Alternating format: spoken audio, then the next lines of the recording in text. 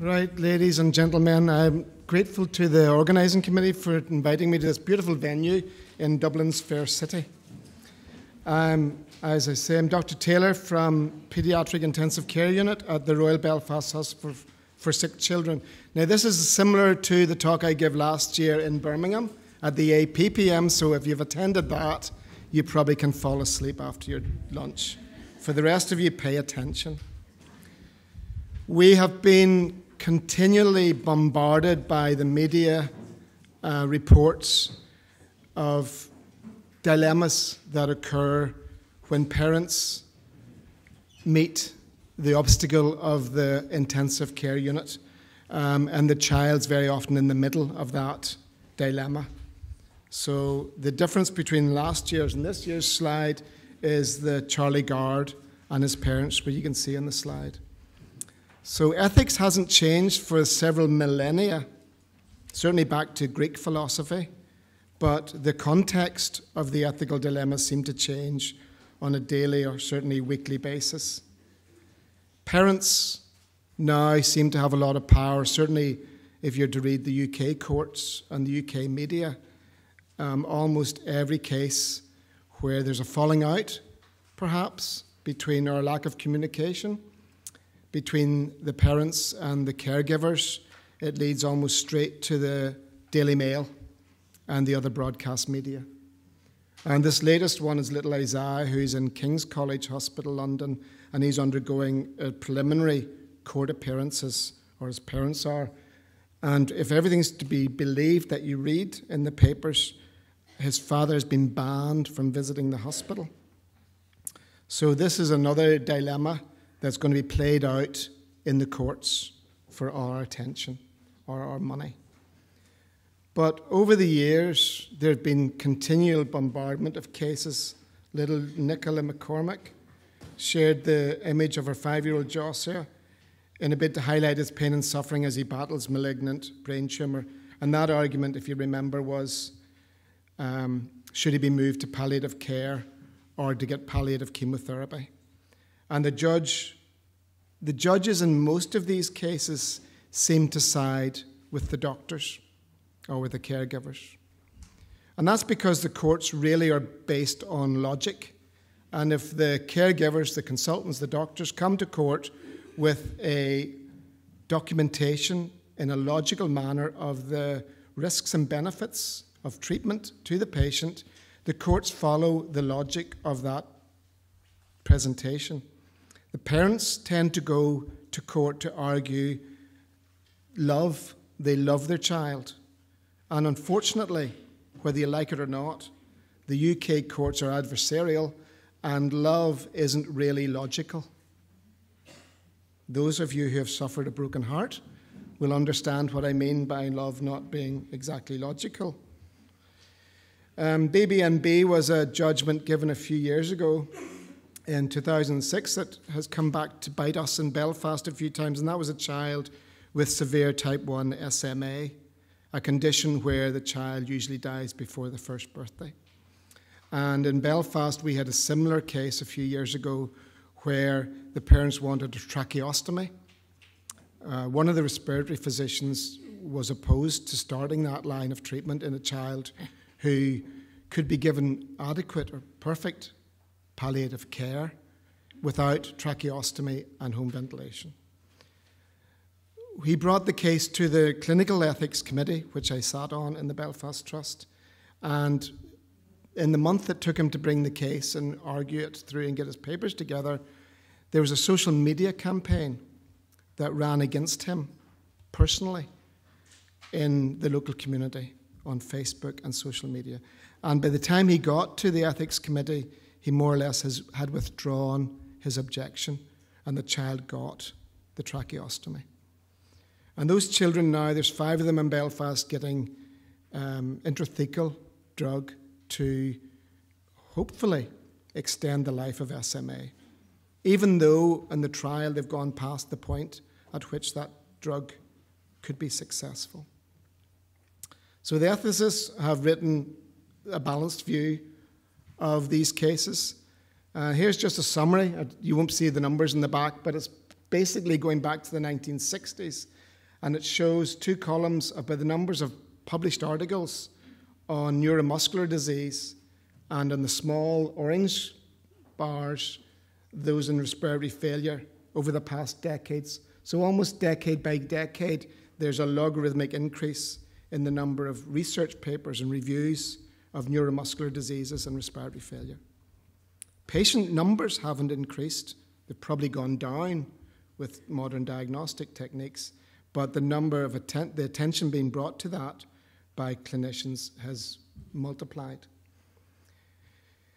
Making decisions, um, the Archives and Disease in Children published the Royal College of Pediatrics and Child Health guidance on decision making at the end of life. And that, those guidelines are very helpful.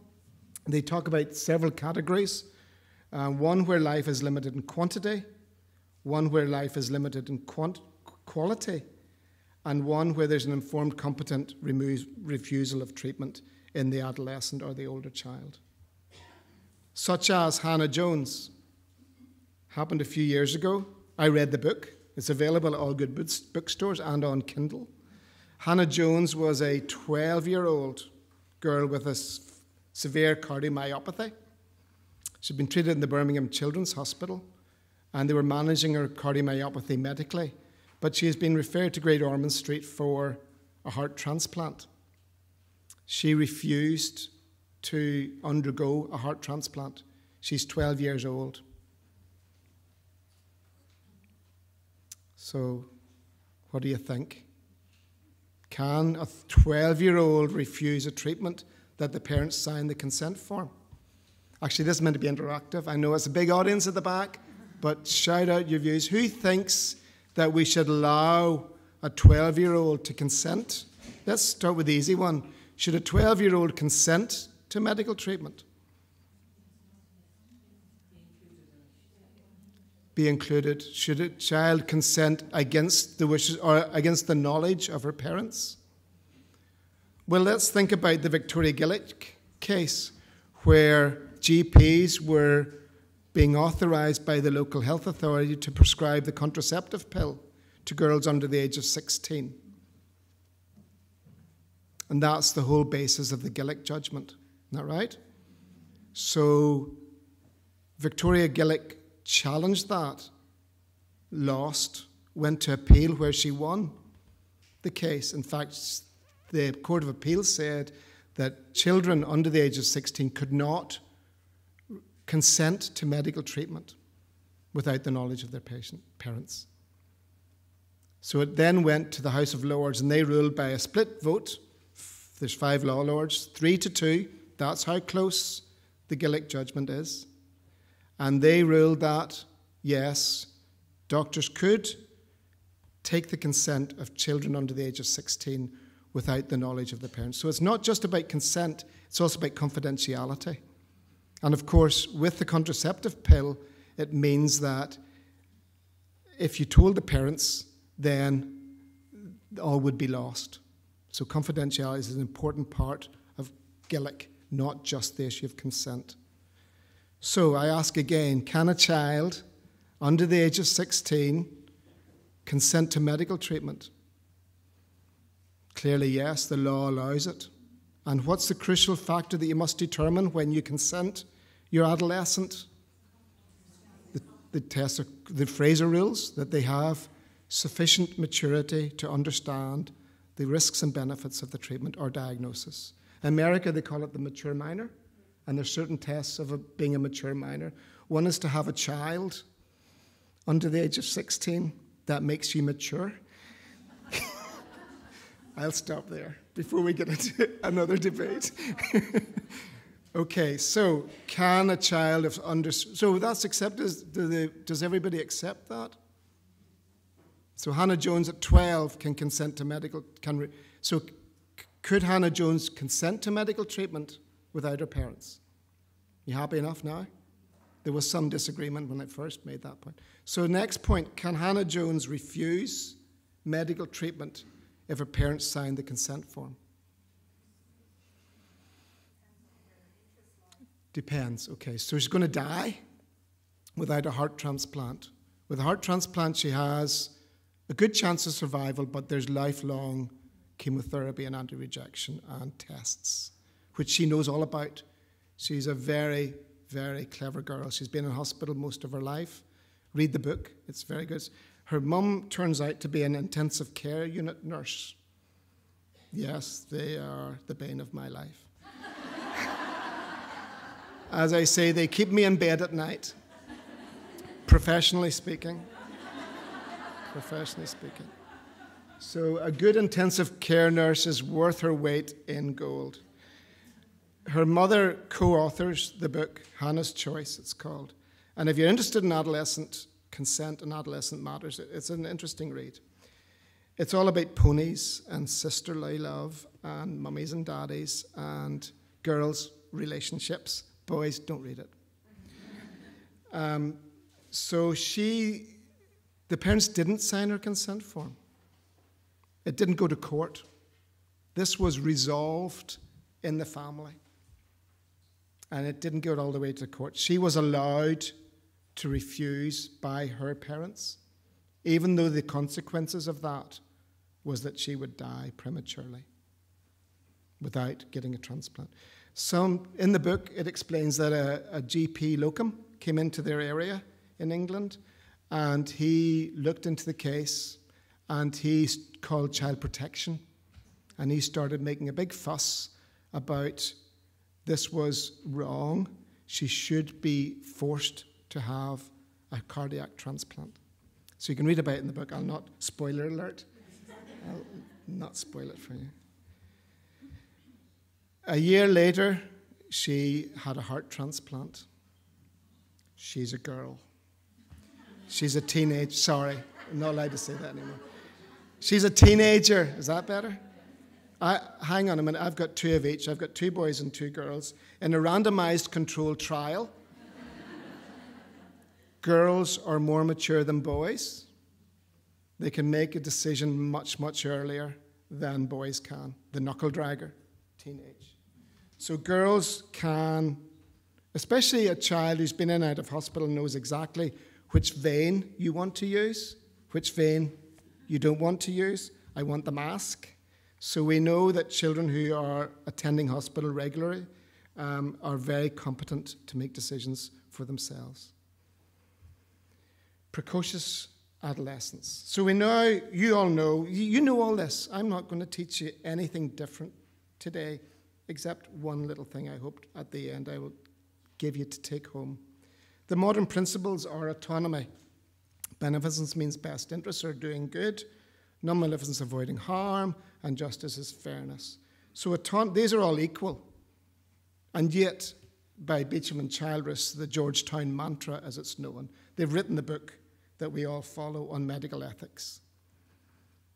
Autonomy, they, they initiated, they talked about these principles as being equal, none being prima facie. And yet, in the era that we're living now in 2017, autonomy appears to trump every other um, ethical principle. Children under the age of X clearly do not possess autonomy. So, therefore, we look to the parents to give act with autonomy for them. And the Children Act, UK Children Order Northern Ireland 2004, allows us to look at the circumstances of who has parental responsibility and can give consent to a child. Tony Blair, in his goodness, took us into the Human Rights Act in 2001 in the UK, and that again sets out certain articles, and Ireland has not signed up to the Human Rights Act but follows the human rights and the European Court of Justice.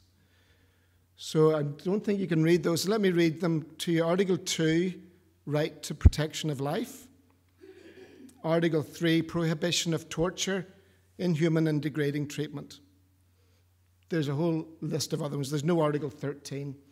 Article 4 is prohibition of slavery. When the, law, when the Act came out in the UK, a group of junior doctors took their local health authority to court saying that by being on call, they were being enslaved they lost. Don't try it. Don't try it. So I'll give you Article 2 and Article 3. So protection of life versus prohibition of torture, and human and degrading treatment. Only one of these rights is absolute. Okay, I've narrowed it down. You've a choice of two. So all the, re- all the others can be argued about, but only Article 2, Article 3, the choice, only one is absolute in the European Court of Justice. Is it the right to life? Put up your hands. There's a protection of the right to life. Well, if I'm standing here with a Kalashnikov aimed at this audience and a Garda marksman has a laser dot on my head, do I have the right to life? No, under the Prevention of Terrorism law, he's going to shoot the bullet into my head to protect yourself. So there is no absolute right to protect life in the European Court of Justice. It's got other laws that put it in perspective. Prohibition of torture, inhuman, and degrading treatment is an absolute right according to the European courts. So that is used, that's the basis of palliative care from a human rights aspect, not from the usual palliation aspect. So we have a duty, an absolute right to, perfect, to avoid torture, inhuman, and degrading treatment with our patients, but not necessarily to protect their life. So I'm going to do a very unusual thing right now. Being an Irishman, I'm going to shut up. Being an Ulsterman, it's even stranger. I want you to talk to the person beside you for two minutes, and I want to talk about you to talk about your moral values. Let's think of it as what you would put on your dating website. Keep it clean, and where you got those values from. Let's call them virtues where you get them from, and what they mean to you. Okay, well, it doesn't take much to get an Irish audience going. I recognize that you guys are experts. I'm not here with any expertise. I'm just voicing what, and being a conduit for talk, you guys to do what you do every day. This is your job. Okay, so give me some answers. Tell me something good about yourselves. Respect. Respect for others. Respect for yourself.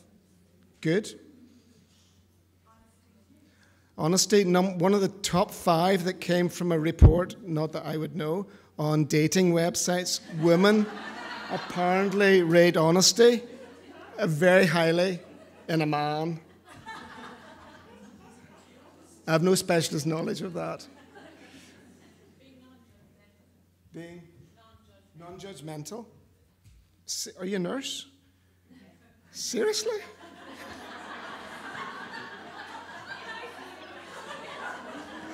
I'm, I'm joking. Do you want to come and work in Belfast? okay. Helping others, doing good. Here's the problem in this audience, we're pretty homogeneous, we're pretty well the same. We're not really a big picture of the society that we live in and that we work in. So if, if you were to go into a different, probably your clinic or your ward, and ask the same question, you might get different variation. In that little co- short conversation that you had, did you find out anything else about the person you were talking to? Did they have exactly the same moral values as you did? I suspect pretty similar, but we're all different. And the great news is no matter how smart Elon Musk and AI become, artificial intelligence, in the next decade, machines will never take over the job of doctors and nurses. There's a prediction for you. Why do I say that? Because no matter how smart the smartest computer will ever be, it will never be able to deal with the variation of the human condition. Look at the patients, the parents, the children you've worked with, are any of them the same? They may have the same diagnosis, maybe Down syndrome or whatever, but are, are they the same? No, so no robot will ever be able to work that out. The human brain the doctors, the nurses, the clinicians, the counselors, the psychologists will always be needed. There's my prediction for the future as I cl- close in on retirement. So we're all different. So that's a very important. That, that little exercise given wasn't just fun, although I hope it was. The idea was that you look to yourself, you've got moral values. Where did you get them from? Mommy, your mommy. My mommy taught me never to tell a lie because she had a wet dishcloth. and you got it around the back of your legs. Never happened to me. The threat was enough, but there was no child protection in those days. and she was a lovely mother.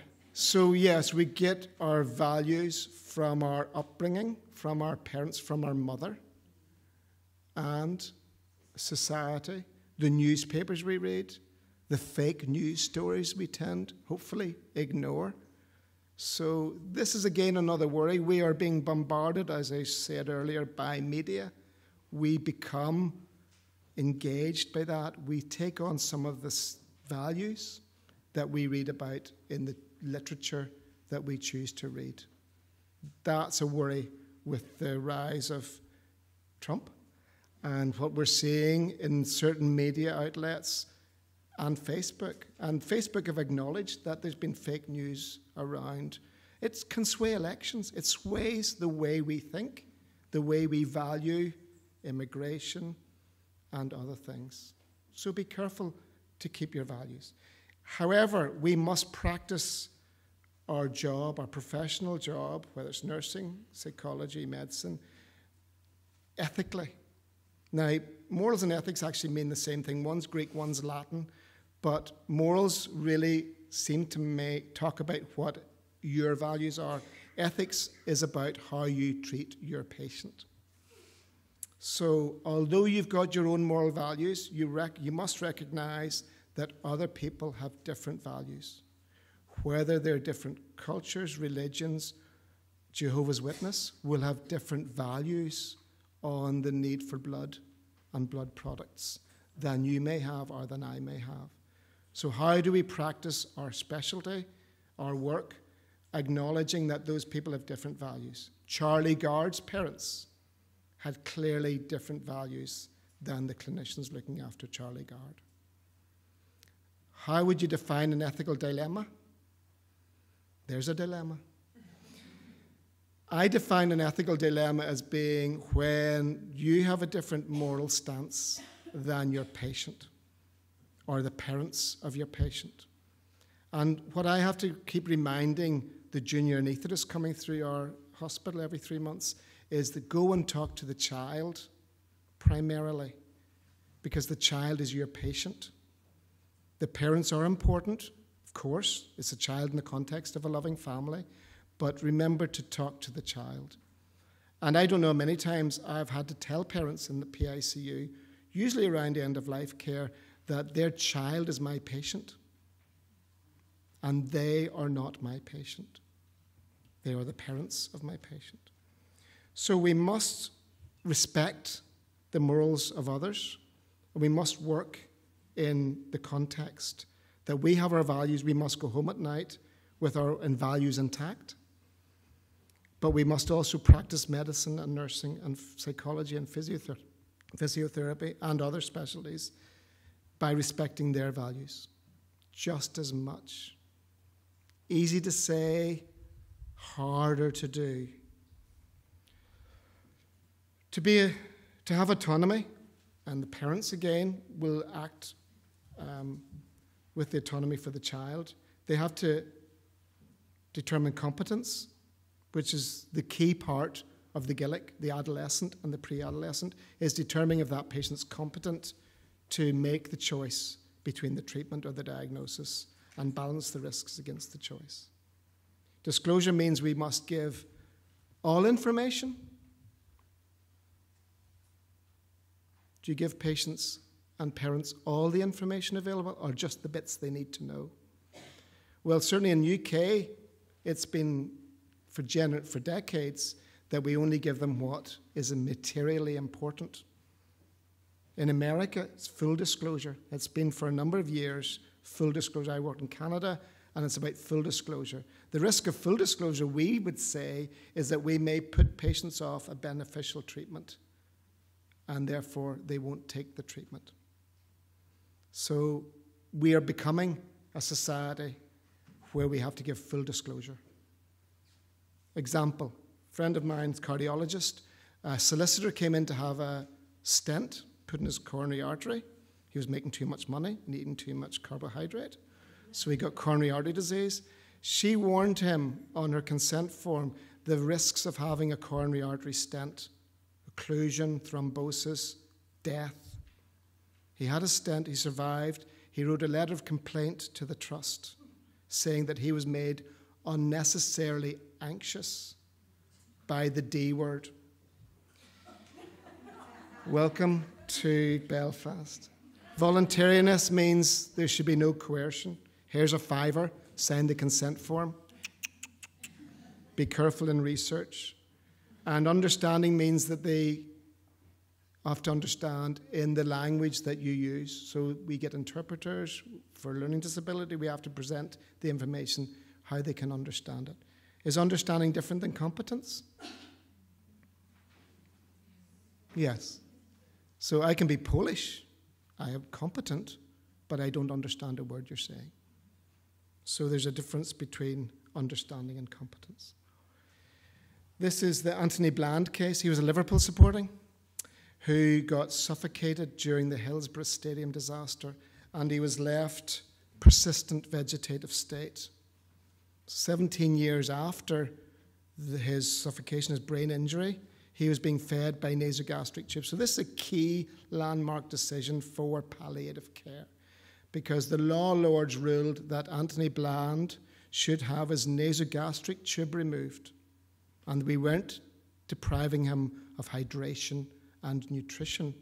We were removing a medical treatment that wasn't in his best interests. So he, the law lord, Lord Keith, argued that it wasn't in his best interests to have artificial hydration and, and nutrition. Now, a number of years ago, I sat on the GMC guidelines looking at withdrawing and withholding care, the latest guidelines from the GMC. And we had many arguments uh, in London when we were writing the document over what AN, uh, artificial hydration and nutrition, meant. And those of us from the pediatric world said, hang on a minute, children who grow up with an NG tube or a PEG tube don't regard that as being artificial means. To them, that is the way they get their hydration and the way they get their nutrition. So removing that isn't the same as taking an NG tube out of a person with dementia, multiple strokes, and multiple other problems, where it is clearly seen as an artificial treatment. So the arguments about end of life care and removal of palliative hydration or nutrition still rage, and it's still one of the main types of case that comes in front of our ethics committee. We cannot solve every problem. Here's the problem we're trained very often, certainly in medicine, as scientists. We are goal directed. You come to the physician with high blood pressure, it's 180 over 100. The physician has got a goal to get your blood pressure below 140 over 90. So we give a treatment. The treatment hits the goal, we're happy. We're goal orientated. You come in with a pneumonia, the physician prescribes an antibiotic, you get better. We are trained as goal directed therapists. With the type of patient who, who comes towards the end of life, we can't be goal directed because goal directed is to die. So we have to change it from being a solution to this problem, a binary, we give this drug, we, give, we get this result, to becoming more about what's the best journey we can take this person on. And there's no solution. There was no solution in Charlie Gard's case. I don't believe going to court is a solution. In the UK, with its adversarial law system, there will, of necessity, be winners and losers. And the child's in the middle. So that's a awful situation. I was involved in a case in Belfast about 25 years ago where an eight year old, out with his dad, estranged from his mum, Mum lived in the south of Ireland, so there's jurisdiction issues about who had parental responsibility for the child. And the child actually got kicked in the side of the head by the horse's hoof and came in, became brainstem dead. So we met the criteria for brainstem death. The father refused to let me switch off the ventilator. Now, this was a clear cut. This wasn't an argument about a grey area.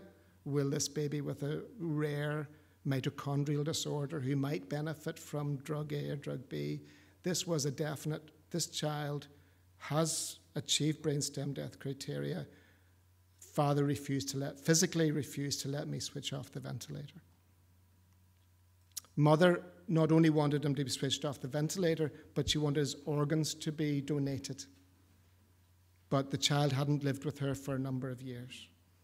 We couldn't resolve it. We spent many hours arguing philosophy with this father and arguing all sorts of things, and he would not come halfway to meet me. We went to court. Two days into court, the court wanted more data on his brainstem by doctors outside Northern Ireland because we were all biased. We all had conflict of interest. On day three, he came in to me in the morning and says, Switch him off, Bob.